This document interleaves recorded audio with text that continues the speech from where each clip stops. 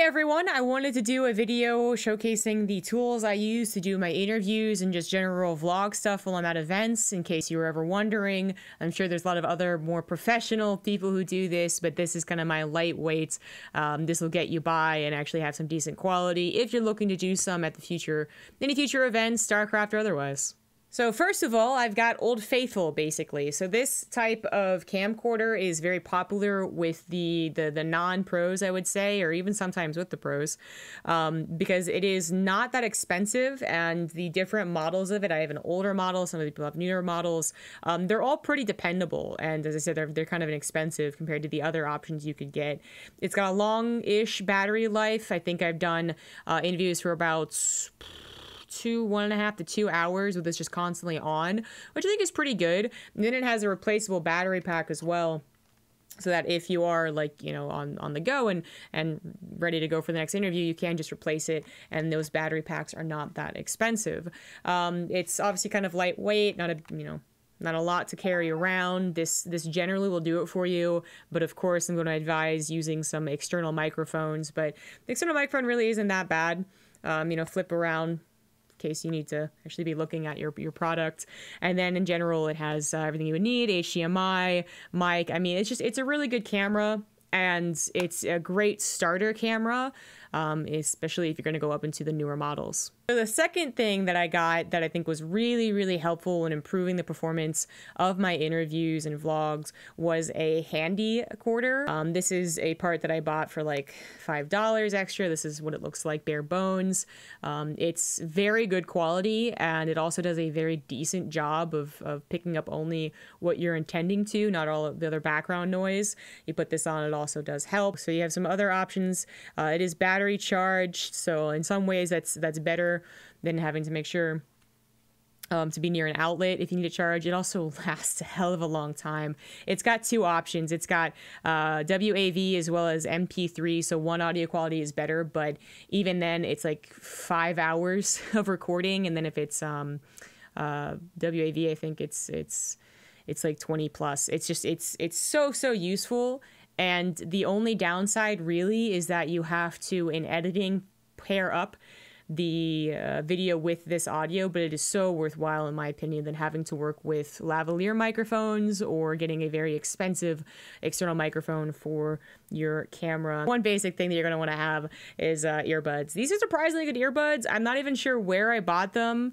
I think I just decided I needed them when I was at an airport and bought them there, so they're probably overpriced, but they're really good for some reason. Um, like I don't like they just they actually do a decent job of like blocking out sound. So uh, you plug that into the handy zoom, for instance, then you can kind of check your your levels as well as make sure that you're getting the sound quality that you want to, and then you can take them right off. But they're they're handy to have, and you can seriously get a very cheap model, like ten dollars or less, and just you know they they can pack and they they pile on in. The other thing that I, I mistakenly said was, uh, you know, a simple one, but really isn't actually, is a lavalier microphone. I said simple. I guess I really meant doesn't take up much space my bad. So a lavalier microphone, if I'm even saying it correctly, I think I am, um, is those ones that you see like on on a lot of like professional broadcasts, right? They're like they go right here or somewhere like that, and the idea is that they're going to be able to pick up generally this area and not so much everything else that's going around. Of course, that means they also won't be able to pick up you if you're going for that style of interview.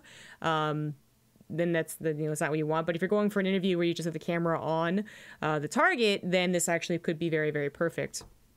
I guess one obvious thing that I kind of forgot to mention, but good thing I remembered, is I actually have a case for all of this. So I found this to be a perfect case. I got it originally for just the uh, camcorder, I believe, but it ends up being so useful. I can actually fit uh, most of my DSLR in here. That is to say, I can't put much extra lenses, but I can actually fit the, the actual camera in here. Um, you know, we got your, your charger little station there. Um, it can fit other stuff in here as well with the camcorder, but then I have my pocket where I usually put my my headphones and then the lavalier mic and then the uh, Zoom handy mic actually does fit in here as well. And don't forget your charging cables and, and transfer cables. They all can go in this I do want to mention a tripod. This one is a little bit bigger than some other tripods I've had. I've had a tripod that actually fits in that, that bag I just showed you, but this one's a little bit bigger.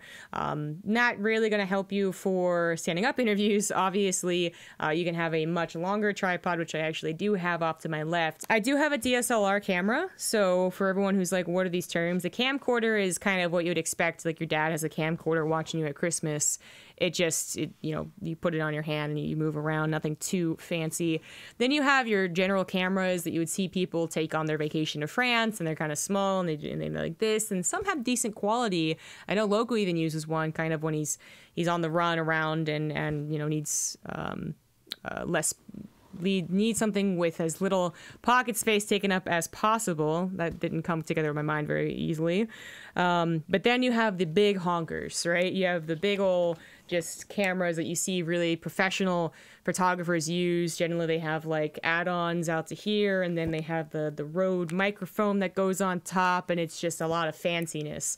The biggest downside to having a DSLR, besides the size of it, is that um, the camera only lasts for 20 minutes on most, if not all, models, I think. So that was a big issue that I had to work with um, was the the it was only 20 minutes, and then I had to decide to cut the interview or keep going and add another 20 minutes. It was really awkward.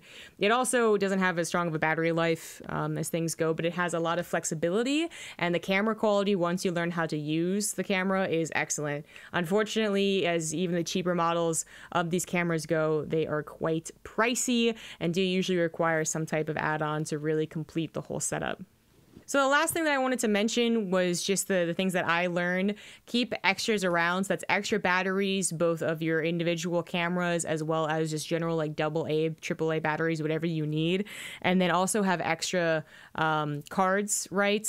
Uh, micro SDs. There we go. I was trying to think of what it's called. And then different ways of uh, transitioning them to micro to regular and, and whatnot because those those get filled up really quickly and you seem a lot more professional when when something goes wrong. You just go oh hold on a second and then you pop another battery in and you're good to go. It also helps with not ruining the flow of things. So just the number one lesson i learned trying to do all this stuff when i was at austin earlier this year just about does it. Let me know if this helped you or if you have any suggestions. Again, I'm not looking to be totally pro with the interviews, but if you have some cost cutting solutions or general tips or just you know things that you think are well worth the money, then let me know down below and I'll see you guys later.